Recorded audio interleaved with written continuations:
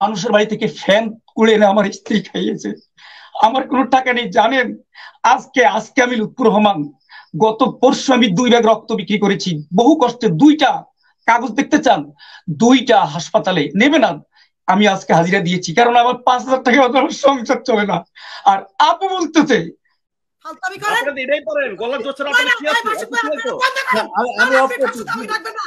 ওদের লজ্জা সরণ নাই ওদের ন্যূনতম কোন ধরনের লজ্জা নেই।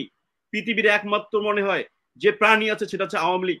যার কোনো লজ্জা নাই। এটা এই অবৈধ ফ্যাসিস্ট সরকারের আমলে যা কিছু করতে পারে। আইনজীবীরা যেখানে দেশের সর্বোচ্চ আদালত, সেখানে আজকে আইনজীবীদের নিরাপত্তা নেই। আমি মসজিদে পাঁচ হাজার টাকা বেতন পাই। বলুন, এখন দুশো টাকার উপরে কিনতে হয় সয়াবিন তেল। আমি একেবারে রিয়েলি বলতেছি আল্লাহ আকবর, আল্লাহর কছম আমি লুৎফুর রহমান, আজ এক মাসের ভিতরে, এক মাস আগে একশো বিশ টাকার মাছ কিনেছি, এখনও কিনতে পারিনি। বিশ্বাস করুন, কি যে অবস্থার ভিতরে দেশের সাধারণ নাগরিকরা রয়েছে, আমার যদি এই অবস্থা হয়ে যায়, তাহলে দেশের মানুষের আর কি অবস্থা? আর যারা সাধারণ, একেবারে হতদরিদ্র, তাদের অবস্থা কি? কোনো দিক দিয়ে তোয়াক্কা না করে এই জালেম, অবৈধ ফ্যাসিস্ট বছর এই সন্ত্রাসী সরকার একের পর এক আমাদের দেশের ইজ্জত, সম্মানকে বিশ্বের দরবারে একেবারে নিচু করে দিয়েছে। অথচ এই অবৈধ সরকারের, এই জালিম সরকারের, এই নিশিরাতের বর্চর সরকারের কোন এমপি মন্ত্রী এবং কি তাদের পেটুয়া পুলিশ লীগের সে- থেকে শুরু করে গ্রাম অঞ্চলের তাদের যে পাতি নেতাগুলো পর্যন্ত হাসতেছে, অথচ আমরা লজ্জায় মুখ দেখাতে পারছি না। আমাদের দেশের স্বাধীনতার সকল সার্বভৌমত্ব ধুলায় মিশিয়ে দিয়েছে এই জালিম সরকার।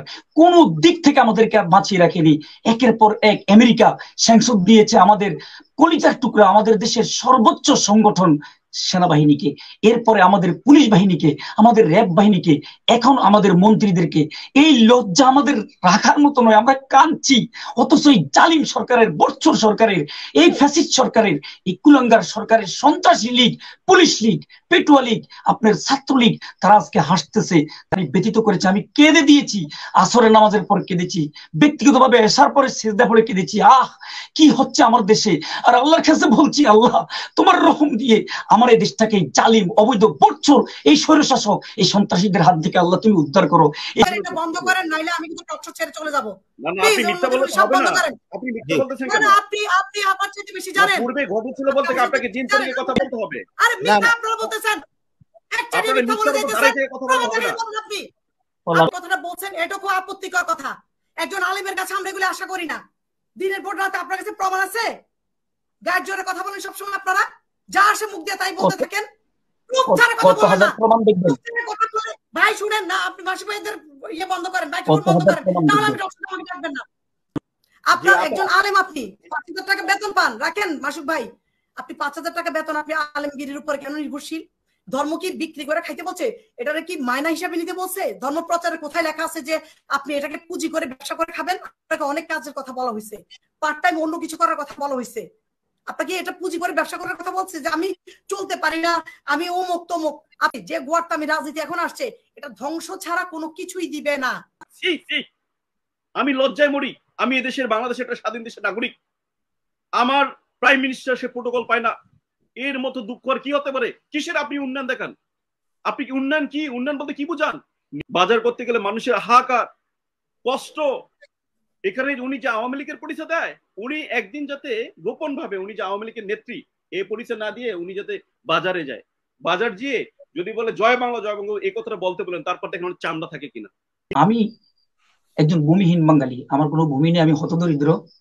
এই জালিম সরকারের আমলে আমি ছাপ্পান্নটা ইন্টারভিউ দিয়েছি, আমি ত্রিপল টাইটেল করেছি ত্রিপল এম এ আমি কিন্তু চাকরি পাইনি হুজুর হুজুর এই কারণে।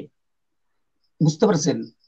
আমি যদি রিক্সা চালাতে যাই তাহলে আমার ফেস্টিজটা কোথায় দাঁড়াবে? হ্যাঁ তারপর আমি রাত্রে রাত্রে আমি রিক্সা চালাই। আমি উপায় নেই তো। উনি যে কথা বলছেন উনি যে কথা বলছেন এ কথার প্রতিবাদ হচ্ছে আহ, উনি কিন্তু ধর্ম সম্পর্কে ওনার কোনো জ্ঞান নেই।